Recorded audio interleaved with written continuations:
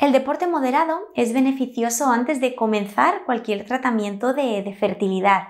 Llevar un estilo de vida activo y saludable es bueno también para la fertilidad y nos va a ayudar a mantenernos en un peso adecuado. Durante la estimulación ovárica, el deporte suave, aparte de todos sus beneficios conocidos, ayudará a la mujer a reducir el, el estrés y a tener menos ansiedad.